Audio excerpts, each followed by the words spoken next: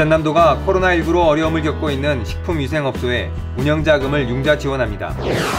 코로나19 재유행에 대응하기 위해 취약시설 선제검사를 늘리고 4차 접종률을 높이는 방안이 추진됩니다. 전남도는 혁신적인 청년 사회적 기업가를 키우는 사회적 경제 청년 창업 아카데미를 운영합니다. 항암 효과와 면역력 향상에 좋은 국민 간식 해남 고구마 수확 현장으로 안내합니다. 여러분 안녕하십니까? 생명의 땅 으뜸 전남 도정뉴스입니다. 전남도가 코로나19로 어려움을 겪고 있는 식품위생업소의 경제적인 부담을 줄이고 깨끗한 외식 환경을 만들기 위해 운영자금을 융자 지원합니다. 융자 대상은 음식점 제과점 등 식품 접객업소와 식품 제조 가공업소, 건강기능식품 제조 판매업소 등 49,551곳입니다. 융자 금리는 연 1% 고정금리이며 융자 비율은 필요 자금의 80%까지 지원합니다.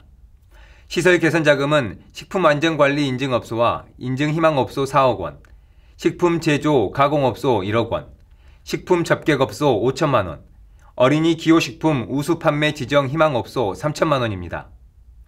운영자금은 1천만 원까지 가능합니다. 융자를 바라는 업소는 광주은행이나 농협은행에서 대출 가능 여부를 확인한 뒤 시군 위생부서에 신청 서류를 제출하면 됩니다. 전남도가 코로나19 재유행에 대응하기 위해 취약시설 선제 검사를 늘리고 4차 접종률을 높이는 방안을 추진합니다. 도는 요양원과 요양병원 종사자의 선제 검사를 강화해 PCR 검사 주 1회에서 신속 항원 검사 주 2회를 추가해 일주일에 3차례 검사하도록 진단 키트를 지원합니다. 또 찾아가는 예방접종 시스템을 가동해 50세 이상 4차 접종률을 48%에서 70%까지 끌어올리기로 했습니다. 이외에도 검사와 치료제 처방까지 원스톱 서비스가 가능한 진료기관을 늘려나갈 계획입니다. 전남도는 혁신적인 창업 아이디어와 경영 능력을 갖춘 청년 사회적 기업가를 키우기 위해 사회적 경제 청년 창업 아카데미를 운영합니다. 사회적 경제 창업을 희망하거나 준비 중인 만 19세 이상 39세 이하 청년을 대상으로 하며 10월 6일까지 교육합니다.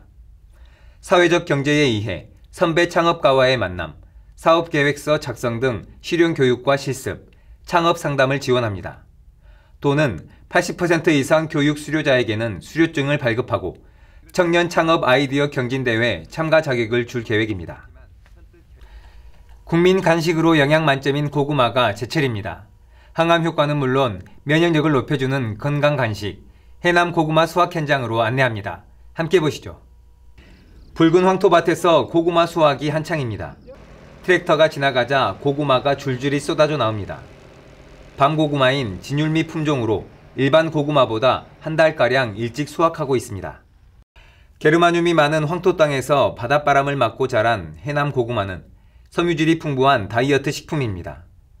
항암 효과가 있는 여러 채소 가운데 바람 억제율이 가장 높고 베타카로틴과 비타민 등 면역력을 높이는 성분이 많습니다. 수확한 고구마는 선별 과정을 거쳐 대형 매장과 온라인 쇼핑몰에 판매합니다. 국내는 물론 미국과 유럽에도 수출되고 있습니다. 해남군은 올해 500여 농가가 2,200여 헥타르를 재배해 700억 원의 소득을 올릴 것으로 기대하고 있습니다. 쪄서 오래 냉동 보관했다 해독을 해서 먹어도 고구마가 말랑거리고 맛이 좋고 에, 식감도 좋고 아주 그 영양소가 풍부해서 다이어트 식품으로도 각광을 받을 만한 지리적 표시 등록을 마쳐 지역 브랜드로서의 가치를 한층 높인 해남 고구마. 밤 고구마에 이어 꿀 고구마, 호박 고구마 수확이 11월까지 이어집니다. 생명의 땅 으뜸 전남 도정뉴스 김동진입니다.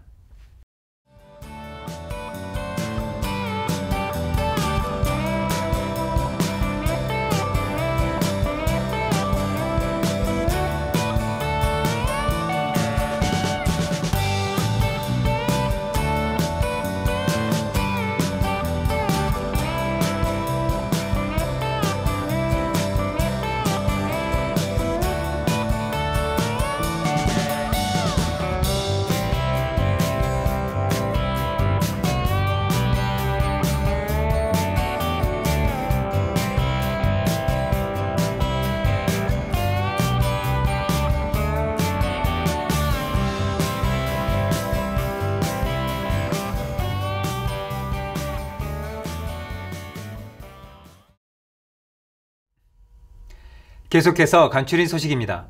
김영록 전남지사가 시도지사 협의회 총회에서 정부의 쌀값 안정 대책 마련을 촉구했습니다.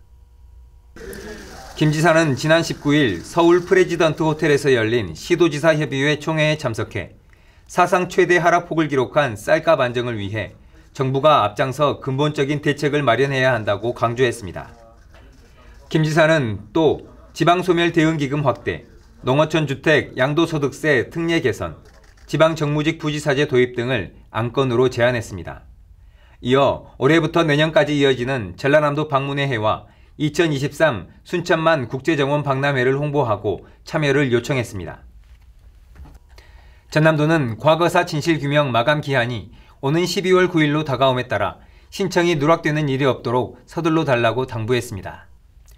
과거사 진실규명 접수는 한국전쟁 전후 민간인 집단 희생 사건 등을 조사해 왜곡됐거나 은폐된 진실을 밝혀 피해자 명예회복을 위한 것입니다.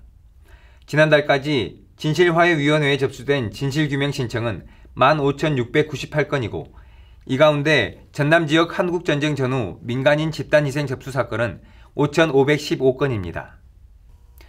고온 다습한 날씨가 이어지면서 세균성 식중독 위험이 많아지고 있어 주의가 필요합니다. 23일 기준 질병관리청 식중독 예측 지도에 따르면 목포와 해남 등 전남 15개 시군이 위험 단계로 식중독 발생 가능성이 매우 큰 것으로 나타났습니다. 한편 최근 5년 동안 전남 지역에서 발생한 식중독 환자는 640명에 달합니다. 전남도는 지난 22일 전남도 의사회와 코로나19 의료대책 추진을 위한 업무 협약을 했습니다.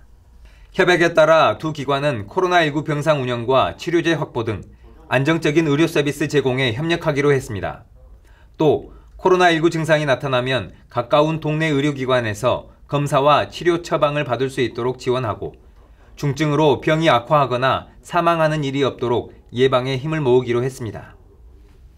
투기 예방을 위해 농지 취득 자격 심사가 강화됩니다. 전남도는 22개 시군의 지역 농업인, 농지 전문가 등으로 구성된 농지위원회를 설치합니다. 이에 따라 농지를 취득하려는 사람은 농지법 제8조에 따라 해당 시군의 농지위원회 심의를 거쳐야 취득 자격증명을 받을 수 있습니다. 최근 농지법령이 일부 개정 시행된 데 따른 것으로 투기 목적의 농지 소유를 막고 보다 효율적으로 관리하기 위한 것입니다. 전남도가 내년 10월에 목포 등 전남 일원에서 열리는 전국체육대회와 전국장애인체육대회의 성공적인 개최를 위해 개회식과 폐회식 연출 자문위원회를 출범했습니다. 연출 자문위는 김용록 전남지사를 위원장으로 22명이 활동하며 두 체육대회의 개회식과 폐회식 연출과 세부 실행 방향 검토, 각종 아이디어 제공 등의 역할을 합니다. 전남도는 전남 방문의 해를 맞아 농촌 체험마을 숙박업소를 이용하는 타 지역 주민에게 최대 4만원의 남도장터 할인 쿠폰을 발행해 전남 농산물을 구입할 기회를 제공하기로 했습니다.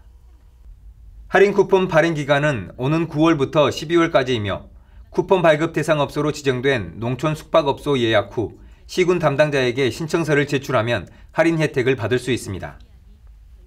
지역에서 수확한 농산물을 지역에서 소비하는 로컬푸드 직매장이 꾸준한 인기를 얻고 있습니다. 로컬푸드 직매장은 당일 생산에 당일 판매하기 때문에 신선도가 높고 장거리 수송과 다단계 유통을 거치지 않아 시중보다 가격이 저렴합니다.